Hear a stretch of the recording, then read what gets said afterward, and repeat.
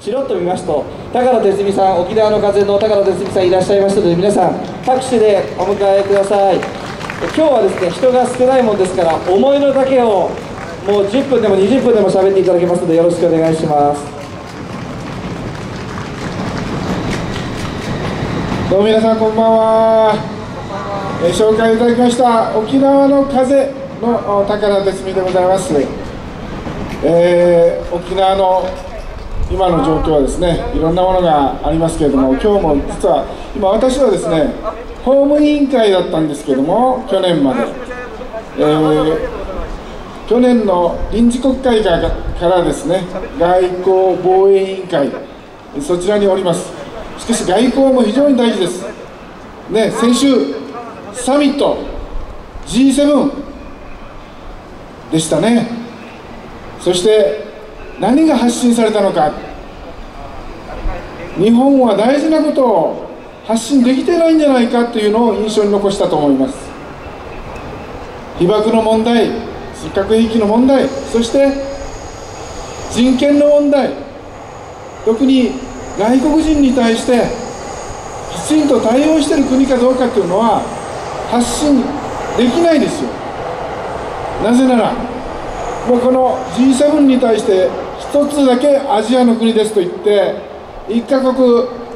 選ばれし者のような感じで言ってますけれども実はこのダントツにやってない国ということなんですね。何がやってないかと言いますとこの外国人の受け入れ難民認定率ダントツにこの7つの国の中で0.7%というそれが難民認定率です。他の国はもう全然違うんですねレベルが。そういった中で0.7という数字というのは大変な数字を残してしまったということだと思います。そして先ほど、あのーずっとね、えー石川大河委員が言ってますけれどもやっぱり難民をどう扱うかっていうのがその国の人権状況が分かるということなんです。そして日本ではこのずっと政府が言うようになってきてるのは法の支配ですよね。で法の支配といって共通の価値観を持っている国々 G7 と一緒にサミットを開くと言ってたんですけどもダントツに共通な価値観を持っていない国が議長国になってしまってたわけです。この人権の問題。さらにはこの難民認定の問題になりますと手続きも先ほどはありましたけども手続きちゃんとやってるか本当に適正な手続きを踏んでこの難民申請をしてる方の状況を調べているのかとそしてそれを理解しているのかとそしてその国の状況を知っているのかというのがとても大事なわけです。で私は去年の法務委員会の時に聞いたのはですね強制送還をすると認定されないから強制送還をした後はどうするんですかと。いや強制送還したからもう終わりだと。いやだって難民認定を申請したってことはその国に帰ったら危ないからと言って申請をしたわけでしょ。それを強制的に返したのにどうして後を見ないんですか。見ないんですよ。後は知りませんと言うんです。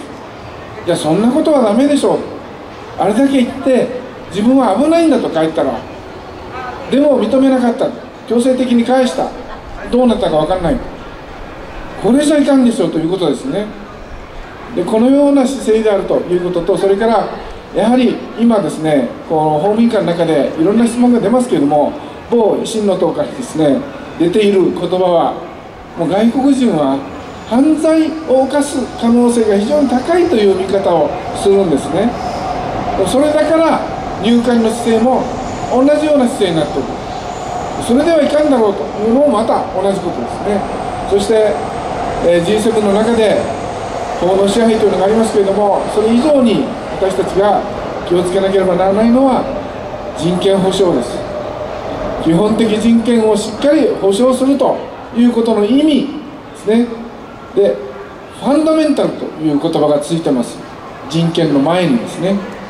でヒューマンライツですから人間の権利という前に基本的な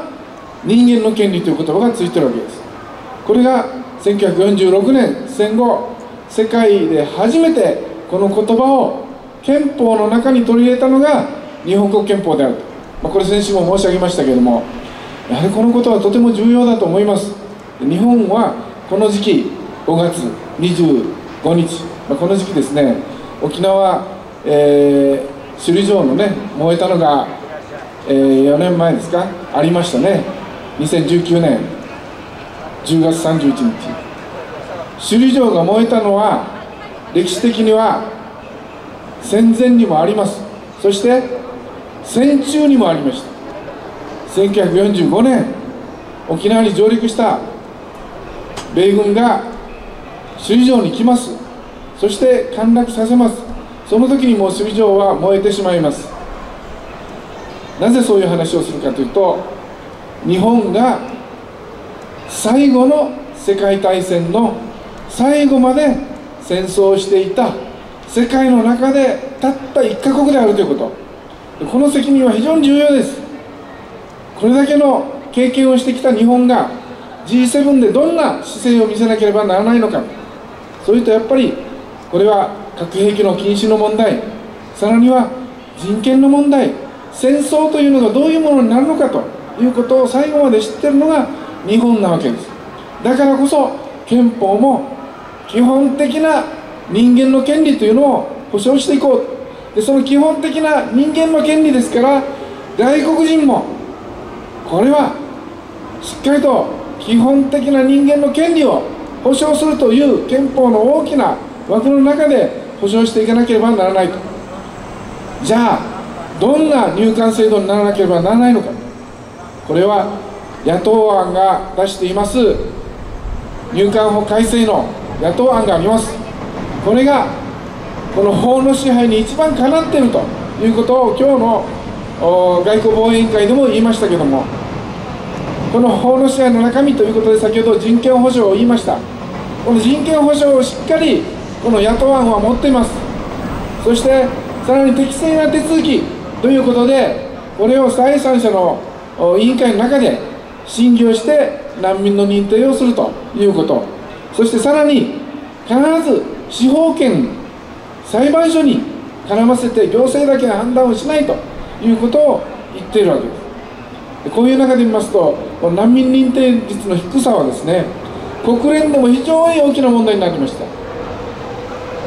難民という言葉が出てきたリフュージーの言葉が出てきたのは国連でしっかり難民保護をしていこうという言葉から出てきたわけですけどもでも難民にもいろんな定義があります。でやはり国連の難民高等弁務官の事務所が出しているこの解釈をしっかり守っていかなければならない。難民等ということで難民はいろんな形の難民がいる。自分の国に帰らない方たちがたくさんいます。そこをきちんと見るんだと。適正な手続きでそして人権の観点からさらには裁判所の人権保障を適正な手続きを守るために裁判所を介在させて判断をしていく。こういったことがとても重要であると。そして法の支配というのは国際的な人道法のこれも法の支配の非常に重要な原理の中の一つです。慣習的に出てきたものが国際慣習法その中でも人道というのはそういった種類に入ってくるということです、えー、1950年代日本のこの入管の関係の法律はありました。これは何があったのかというと、まあ、出力管理令というのがありましたけどもそこであったのはもう今では考えられないような人権の並外れた人権を侵害するようなものです。外国人は煮て食おうが焼いて食おうが構わないと。こういうことをこの出入国管理庁のトップがそれを言っていたわけです。こんな姿勢で出入国管理をやってたのかというのが問題なんです。今はまたそれも基本的な流れがそのまま残ってしまってるんじゃないかということが見受けられます。ただ見受けられます。そこをやっぱり法の支配で基本的な人間の権利というのは一体何だろうということを改めてですね